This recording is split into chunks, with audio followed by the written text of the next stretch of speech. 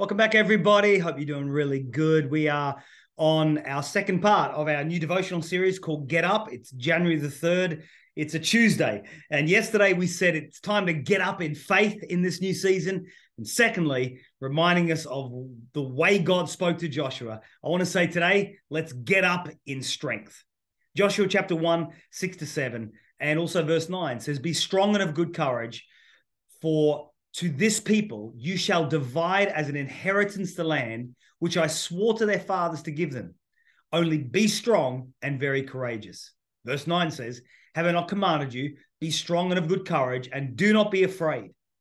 Now, the only reason why God would say to Joshua here three times, Be strong and of good courage, is because he's not feeling strong and he's not feeling very courageous. In other words, he's feeling weak and he's feeling unable. Now, the reality is this is God needed to instill in him the need to once again get up. We mentioned it yesterday. He's sitting down, and God's saying, No, get up, get up and be strong. Why did he have to be strong? The reason he had to be strong is because of the enemies he faced. The Bible says he faced some great enemies. Joshua chapter 3, verse 10 the Canaanites, the Hittites, the Hivites, the Perizzites, the Girgashites, the Amorites, Amorites, and the Jebusites. And I think we experience the same sort of difficulties and challenges in life. The word Canaanite means this zealous or passionate.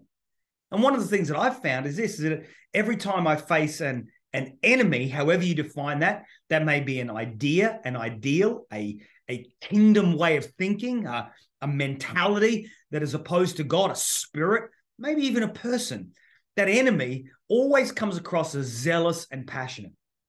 I, I find that rarely are attacks against your person, against your your your God vision. Rarely are they passionless.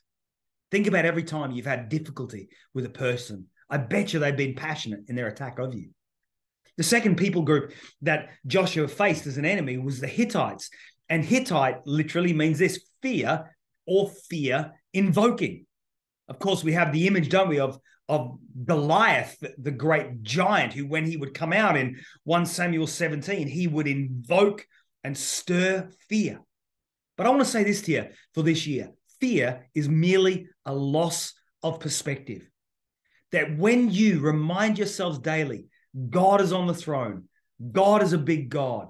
No one can compare. None can, com- can come close.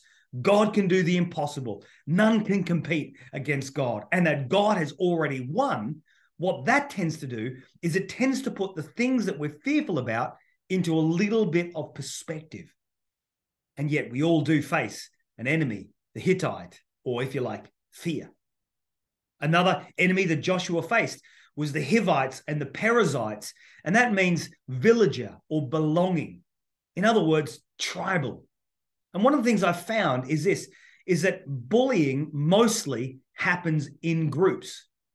Do you remember in Luke chapter 22, verse 47, Judas couldn't take on Jesus alone. And so we got the Roman guard with him, or he got the, the guard with him that they bullied up, ganged up against Jesus in the garden when they came to arrest him. Bullying, enemy activity usually happens in groups. It's mob rule, it's gang rule, it's cancel culture. It's what we see left, right, and center where the masses gang up against. And I find that often in life, we can feel quite isolated and quite alone when difficulty comes against us. And often that difficulty is tribal, it's a belonging, it's a crowd, it's a group, and it's a peer pressure that will try to make us to bend the knee, bow the knee to things that, that are not God honoring and not God glorifying.